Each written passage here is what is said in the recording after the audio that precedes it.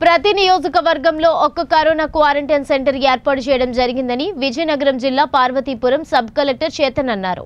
అదేవిధంగా పార్వతీపురం నియోజకవర్గ పరిధిలో గల వైఎస్ఆర్ ఉద్యానవన కళాశాలలో వంద పడకల క్వారంటైన్ సెంటర్ను పురుషులకు నలభై పడకలు స్త్రీలకు అరవై పడకల క్వారంటైన్ సెంటర్ను ఏర్పాటు చేశారు.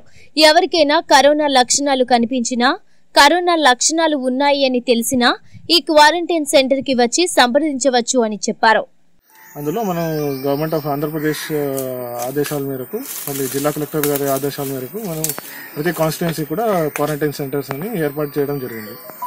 ఇందులో మనకు కావాల్సిన ఫెసిలిటీస్ కావాల్సిన మ్యాన్ పవర్ ఇవన్నీ మనకి స్టాండర్డ్ ఆపరేటింగ్ ప్రొసీజర్ ప్రకారం కావాల్సిన శానిటేషన్ వర్కర్స్ కానివ్వండి మెడికల్ స్టాఫ్ కానివ్వండి కావాల్సిన control twenty four bar seven control రూమ్లో ఉండాల్సిన రెవెన్యూ ఆఫీసర్స్ కానివ్వండి పో- పోలీస్ వాళ్ళు పోలీస్ సిబ్బంది కానివ్వండి మనకు ఆల్రెడీ లిస్ట్ ఇవ్వడం తీసుకున్నాము సో జిల్లా స్థాయిలో కలెక్టర్ గారు దీన్ని హెడ్ చేస్తున్నారు. డివిజనల్ స్థాయిలో మనకి సబ్ కలెక్టర్ అండ్ ఏఎస్పీ గారు లైక్ డివిజనల్ ఆఫీసర్స్కి ఇవ్వడం జరిగింది డిఎల్పీ గారికి. సో మనకు కావాల్సిన ఇక్కడ ఫెసిలిటీస్ మనం అన్ని ఇప్పటి వరకు హండ్రెడ్ రూమ్స్ ఉన్నాయి మనకి. ఇప్పుడు గర్ల్ గర్ల్స్ బ్లాక్లో సిక్స్టీ రూమ్స్ ఉన్నాయి బాయ్స్ బ్లాక్లో మనకి ఫార్టీ రూమ్స్ ఉంది సో మనకు కావాల్సిన వాళ్ళ హండ్రెడ్ బెడెడ్ ఇక్కడ క్లియర్గా ఉంది మనకి ఇప్పుడు.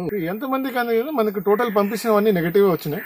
మనం ఇంతవరకు పంపించినవన్నీ ఫారెన్ రిటర్న్స్ ఢిల్లీ రిటర్న్స్ అలాగే మనం పంపించింది వాళ్ళతో ఉన్న కాంటాక్ట్స్ మళ్ళీ ఎవరైనా సిమ్టమాటిక్ కేసెస్ ఎవరైనా వేరే జిల్లాల నుంచి వచ్చిన వాళ్ళని పంపించడం జరిగింది.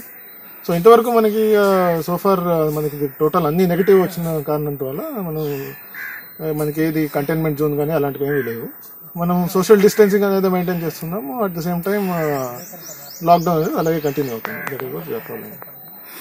సార్ ఇంకా ఇంకా ఆదేశాల మేరకు మనకు వచ్చింది ఫారెన్ రిటర్న్స్ మళ్ళీ ఢిల్లీ రిటర్న్స్ మళ్ళీ ఫారెన్ రిటర్న్స్ కాంటాక్ట్స్ మళ్ళీ ఢిల్లీ రిటర్న్ కాంటాక్ట్స్ వాళ్ళంతా మనం ఐడెంటిఫై చేయడం జరిగింది. ఆల్రెడీ వాళ్ళ శాంపిల్స్ కూడా పంపించడం జరిగింది. వాళ్ళ శాంపిల్స్ ఆల్రెడీ నెగిటివ్ కూడా రావడం జరిగింది.